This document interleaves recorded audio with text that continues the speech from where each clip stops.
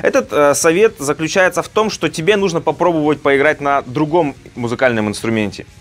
При этом здесь не подойдет вот этот психологический трюк, типа, о, займись там каким-либо другим увлечением. Нет, другим увлечением заниматься не надо, потому что здесь мы не пытаемся тебя, а, так скажем, отдалить от барабанов, и пытаемся тебя вовлечь в этот процесс еще сильнее. А, выбрать какой-либо другой музыкальный инструмент, это значит то, что ты, во-первых, а, отвлекаешь мозг, но находишься все равно в этой музыкальной структуре. То есть, например, э, этот, эта ситуация мне очень сильно как бы помогла в 2007 году, 2007-2008 а, год, я практически не занимался на барабанах, я играл на гитаре, потому что у меня в барабанах был застой, я купил себе гитару, играл на гитаре и открыл такое замечательное чувство, что э, когда ты ну, как бы играешь на гитаре, ты там что-то сочиняешь, да. А, отсюда еще ответвление, да. Я начал изучать гитар про, например, да. В, с помощью гитар про я изучил ноты. Потом я начал сочинять как бы музыку, сочинять в гитар про какие-то новые барабанные партии, да. И там как снежный ком понеслось. То есть я за счет того, что освоил новый инструмент,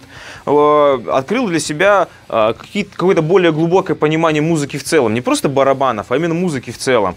И когда ты уже более глубоко это слышишь, э, ты барабаны начинаешь воспринимать не как шумовой инструмент, а как вполне себе мелодичный. И у тебя мышление перезагружается, и, соответственно, ты а, по этой теме начинаешь двигаться еще интереснее, еще активнее. И когда ты возвращаешься уже к барабанам, да, после такого вот освоения, там, проб себя в других музыкальных инструментах, даже если там с этими музыкальными инструментами ничего не выйдет, ты хотя бы попробуешь, и плюс-минус э, какие-то у тебя ассоциативные ряды пройдут, вот как гитара с барабанами работает, как барабаны с гитарой и так далее. Поэтому попробуй другой музыкальный музыкальный инструмент, вот, и посмотри, что из этого выйдет.